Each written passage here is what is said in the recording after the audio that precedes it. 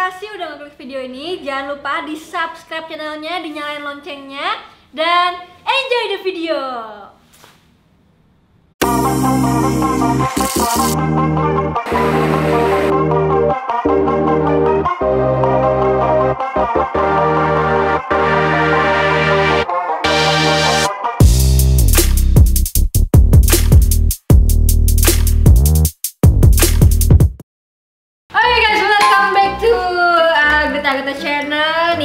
Kita akan bermain-main dengan mesin kopi karena tiba-tiba pas gue turun sudah ada uh, tukang kopi ya di sini ya guys ya. Ini kemarin viral di TikTok nih. Katanya ya nggak viral nggak lu? Ya nggak viral viral. Sekarang berapa followersnya di TikTok? Eh, nggak tahu dua ratus tiga ribu mungkin. Aduh, bentar lagi kebalap nih gue nih. Kagak gila mas jauh banget. Tentang kopi yang hits banget. Gue ini sebenarnya tahu nih dari dari lama ada yang kopi dicampur bango, Mm-mm. kecap bango ya kan? Iya, iya, iya. Itu juga sebuah fenomena yang luar biasa. Tapi gue tuh kayak oh, itu aku gak sih gitu kopinya kayak gitu. ya waktu itu juga kayak jujur waktu itu ya kayak gue kan udah siapin budget gitu ya buat marketing. Belum keluarin sepeser pun tiba-tiba kayak pertama kayak di di tweet atau kayak di Twitter atau di Reddit pertama gue lupa kayak di Twitter kayak ada yang nge-tweet kayak dar terus tiba-tiba gue gue kan waktu itu waktu launch itu gue udah prepare cuman gue waktu itu udah balik kuliah di Melbourne. Terus cici gue dari Jakarta kayak Jo lu cek Twitter sekarang kayak buset kayak diri itu banyak banget langsung viral gitu. Gue tau kayak emang aneh tapi gue nggak expect belum keluarin marketingnya udah kayak gila gitu loh. Gua- iya karena kalau misalkan nih kalau kalian mau bikin usaha apa pun tuh yang yang yang paling penting sebenarnya viral ya. Kalau viral tuh bakal Iya, cepet bikin, Kayak- bikin momentum gitu Mm-mm. kan. Kayak lucunya tuh gue tahu bakal kayak bakal ada yang kayak Gigi atau enggak soalnya kan sebelum gue gue bikin ini kayak resepnya kayak kurang lebih tiga bulan kali. Terus kayak orang-orang tuh kayak waktu gue kasih tau kopi sama kecap kayak reaksinya ada yang kayak hah ada yang kayak satu lagi kayak ih apaan sih gitu. Wah, iya pasti ya apaan sih rasanya tuh gimana sih kayak enak banget Ada yang sini. pikir ada yang pikir rasanya kayak kopi gula yang nggak jelas kayak gitu. Sumpah gue buat bikin nih resep gue diare berapa lama kayak Emang Jadi sebenarnya buat kopi? Iya, jadi bisnis kopi gue kurang lebih gue sama cici gue. Hmm. Nah, cici gue ini lebih jago kopi, tapi gue tuh lebih suka aneh-aneh, gue lebih suka eksperimen ya. Nah, Jadi gue yang kasih ininya, iya dia lebih ngerti kopinya. Ya gue sisi bisnis sama sisi yang aneh-anehnya gue lah kurang lebihnya. Tapi lu berapa sih sekarang? Umur gue baru 20 kemarin. Iya. Cak, baru 20 cak Eh, Debbie deh, buat Debbie deh Kemarin udah Fala, adiknya Fala Iya. Sekarang Debbie ya Berarti 20, 20 tahun? Iya. 20 tahun sudah punya bisnis kopi nih berarti? Ya, Mantep banget. Lu di, di, di Melbourne kuliah atau gimana? Kuliah, kuliah. Kuliah? Heeh. Emang udah keluar? Gue harusnya bahkan sekarang masih harus di Melbourne, cuman gara-gara pandemi kan gue pikir juga kagak bisa keluar ke mana-mana, pulang masih ada bisnis. Udahlah gue balik aja, mendingan tinggal di sana mahal. mendingan balik Jakarta. Ini berdiri dari Februari itu? Gue Apa kopinya udah ada, baru kopinya ada? atau kafenya, maksudnya bisnis kopinya. Bisnis kopinya? Oh bisnis kopi dari gua lulus SMA, berarti Oh, udah 3 tahun iya udah hampir tiga tahun. Lili Ali Kopi ini. Heeh. Kenapa namanya Ali? Nggak ada Jadi eh, dulu dulu dulu ceritanya sebenarnya gue rada rib- kayak ada banyak kan tentuin nama tuh kayak rada lama ya. Hmm. Gue pingin kayak namanya kayak terlalu estetik juga nggak cocok soalnya gue buka pertama di market emang target gue middle to low kurang lebihnya bikin kopi yang tempat nongkrong yang enak lah Hmm. Iya. kurang lebihnya. Ah. Terus juga gue mikir kan pertama gue disupport banget sama bokap kurang lebih ya maksudnya bukan dalam segi ini dong tapi segi bukan dalam segi modal juga segi pengalaman modal tuh gue kumpulin dari sedikit dipinjemin bokap dari juga tabungan gue gue sebelumnya udah ada bisnis juga bisnis kayak streetwear gitu sama ya ada beberapa partner lainnya terus gue pikir udahlah pakai nama bokap nah bukan nama bokap nama panggilan bokap udah Oh, ini nama panggilan bokap ada Iya, iya. Ini adalah kopi untuk papa tercinta. Oke, udah tiga tahun. Tapi so far gimana nih penjualannya sebelum ada Bango? Oh, so far, so far bagus banget menurut gue stabil selama tiga tahun. Kemarin doang waktu covid tuh emang semua restoran offline-nya Iya dong, tuh pasti. drop. Cuman untungnya gue tuh juga ada bisnis, gue supply biji kopi banyak ke Hmm. kafe-kafe gitu loh, ke bisnis-bisnis gitu. Jadi ya kafe-kafe saingan makin banyak, tapi kan juga makin banyak yang bisa gue tawarin kopi gitu kurang lebihnya. 20 tahun punya bisnis loh guys. Siapa yang nggak mau nih? Pacar punya belum? Ada satu. Ada satu, baru satu guys. Aduh. Pacar ikut nggak? di Melbourne Oh, dia, di tapi oh, udah LDR udah gampang guys, gampang. Masih pacaran kan tapi? Masih dia lagi. OTW balik. Oh, eh lagi Dia main TikTok juga. Followersnya lebih banyak dari gue. Waduh, susah susah. susah. Oke, kenapa sih akhirnya memilih untuk Bango menjadi uh, partner ya? Katanya sempat juga bersama sama Unilever kan ya? Heeh, heeh. Jadi kayak jujur gue kenapa pilih Bangop? Jadi ceritanya pertama tuh eh, dari Bangonya sendiri dia kayak kayak tawarin kayak kerjasama kayak bisa gak bikin menu pakai Bango terus Oh, kayak jadi si Bango sendiri yang nawarin? Iya, bangonya nawarin kayak bangonya nawarin ke mungkin gua rasa beberapa kafe dulu ya. Gua salah satunya gitu ya. Gua juga alert banget. Terus kayak mikir kafe-kafe yang lain tuh nggak ada yang sergap opportunity, yang nggak ada yang jump on the opportunity gitu. Terus gue mikir kayak kecap kan, kecap bango kan isinya tuh beneran kayak nggak ada apa-apa, cuma kayak kacang kedelai, terus ada gula aren. Hmm. Tahu waktu itu lagi zaman kopi gula aren kan. Gue pertama mikir kayak bisa gak sih kayak kecap sub- substitusi gula aren gitu.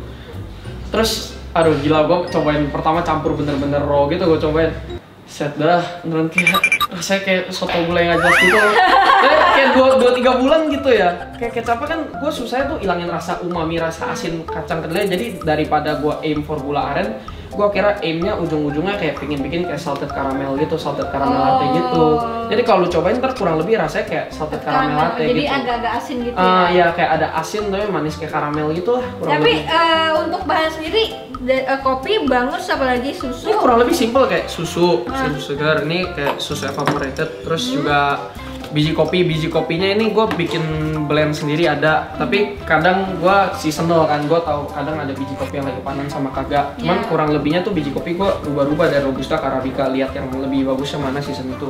Tapi lo nggak mencintai kopi ya?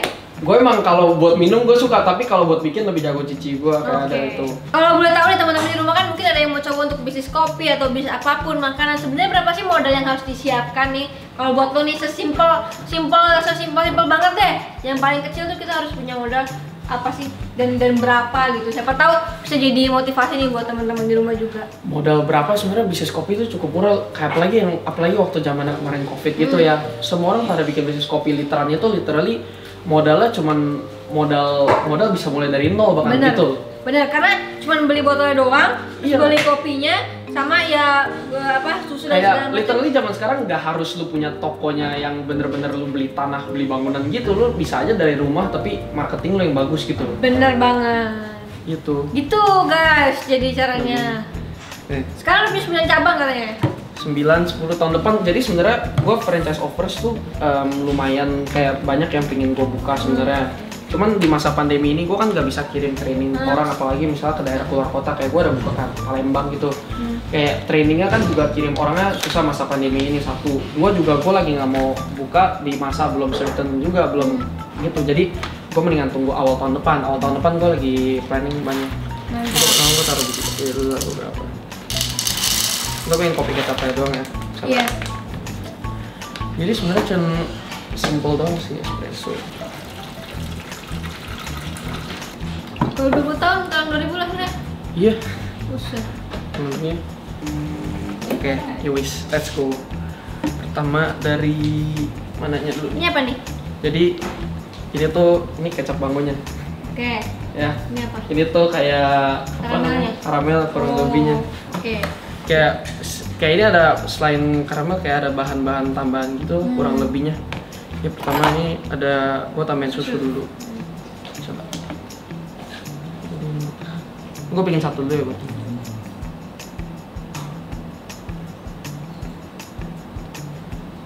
susu yang udah itu ini susu evaporated gitu Iya. jadi yang kayak asam gak kagak asam sih kurang lebihnya macam buat kayak ya kayak buat Thai tea tea, kayak Tapi Thai buat tea Thai tea yang atasnya. Mm, mm, mm.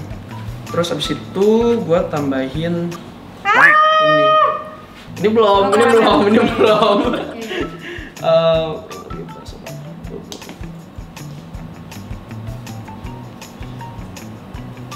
Tapi dengan bergabungnya Ga- Bango di tempat lo nih semakin dikenal dong ya Ali Kopi ini.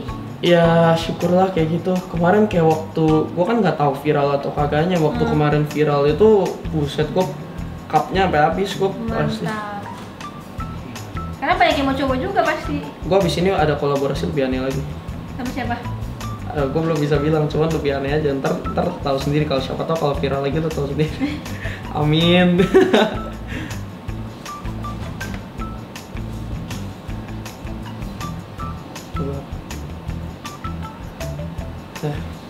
lebihnya terus main susu. Oh, ini. susu ini kopi 100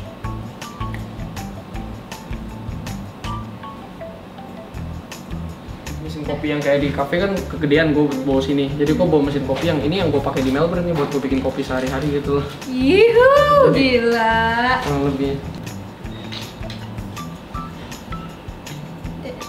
Soalnya emang ini kali ya emang suka kopi, bikin kopi. iya nggak dulu bahkan cici gue sampingan kerja di sana jadi barista Hmm. kalau gue di sana kerja sampingan di tempat ayam penyet gitu di restoran itu deh kita main es batu dulu Tuh. Orang nggak ada yang apa take the opportunities tapi lu yang take akhirnya Ya. lu yang take off juga. Mm-mm. Tapi dengan tiga bulan itu kayak banyak yang kayak takut kayak malah brandnya rusak kurang lebihnya kayak aduh malah lu kebanyakan kayak itu apa namanya main-main sama kopi gitu loh tapi tiga bulan guys. Tiga bulan itu lu stres dong. Kalau nggak dapet gimana gitu kan? iyalah kayak sebenarnya kita nggak dikasih deadline ya Oke. jujur ngomong asal lu ketemu resep yang bagus aja Dan lu itu nggak kalau dewas bagus itu Hmm, lu sorry. lu approve si. Bango nggak? Kenapa Waktu udah dapet yang bagus nih, lu, lu ketemu Bango lagi. kita meeting sama Unilever Sol, um, tim Unilever kan kita juga minta feedback dari mereka juga Iya. kurang Ah. lebihnya gitu loh jadi seperti itu Nih, kurang lebih udah jadi Wih, kecap. kurang susunya sedikit tapi Gila, ini yang pertama kalinya nih gue minum. Tuh, iya bro.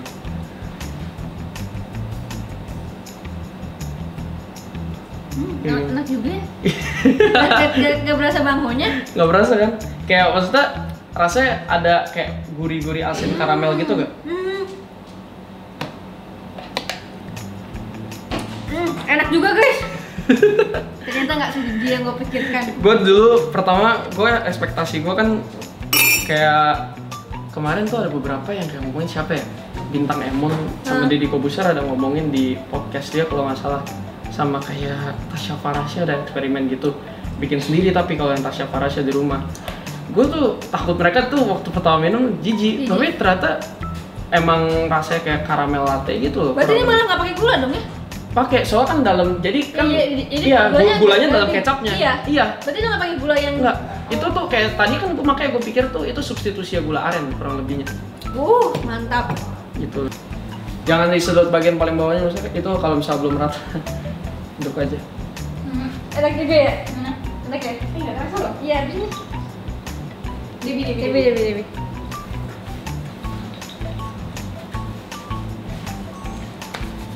Nggak ada kecapnya? Nggak, tapi ada ada iya salted Iya, caramel salted caramel. Heeh. Thank you banget udah hadir ke sini. Udah kasih kopi-kopi juga. oh iya ini sedikit ini gue bikin blend sendiri Lu juga ini punya brand sendiri nih untuk kopinya. Iya nggak, emang gue emang kan em, ada Oh, iya. supply, gue emang jual biji kopinya sendiri, kayak kebanyak ininya. Nah ini kok ada sisa, siapa tahu dia mau buat ngopi di sini. Mantap. Jadi ada di beda-beda juga ya. Ada, Beda ini ada- kayak ini ara, ini arabic, ini lebih banyak arabikanya, ini Oh. lebih banyak robustanya. Gila, jadi kita gitu. harus benar-benar mencintai apa yang kita kerjakan. Mm-mm. Benar nggak? tuh, nggak? Ya kurang lebih. Kita apalagi nih, umur 20 tahun punya bisnis kopi, 9 kopi dan dan, dan stabil lagi 3 tahun. Ya, amin lah. Gue justru sekarang itu TikTok juga bakal pakai buat bisnis juga kurang lebihnya. Terus gimana? Eh, coba kasih wejangan nih buat teman-teman muda di rumah yang nonton yang pengen punya bisnis. Susah banget ya kayak punya bisnis. ya intinya kan semua orang kayak ujung-ujungnya kan maksud gua kalau misalnya nggak mulai hari ini kayak udah ada 50 orang gitu yang mulai hari itu juga ngerti ya jadi kayak jangan mau kalah aja maksudnya gitu Iya, kurang lebihnya mantap. Dan juga jangan jangan hanya dipikirkan doang ya, tapi iya jalanin bisa- aja jalanin bisnis jangan banyak jangan banyak mikir jalan Iya. aja gitu Soalnya yang yang yang yang punya pikiran kayak gitu tuh banyak banget. Hmm, Tinggal betul. yang berani eksekusi itu seperti apa. Mm-mm. ya Kenapa intinya ya? kalau mau jalanin ada yang unik lah ada yang inovasi kurang Iya. lebihnya Iya. gitu Mantap. Makasih kau udah datang ke sini. Yowis, Thank aku yang you makasih banget. dari mana? Dari mana? Kan dari Jakarta Barat Oh, deket lah. Oke. Oke, teman-teman makasih untuk video ini. Semoga ada insight yang bisa diambil, positifnya diambil dan dikurangin negatifnya. Sampai ketemu di video berikutnya. udah Cie, nonton sampai habis ya. Makasih ya. Jangan lupa follow Instagram aku di sini dan nonton video lainnya di sini.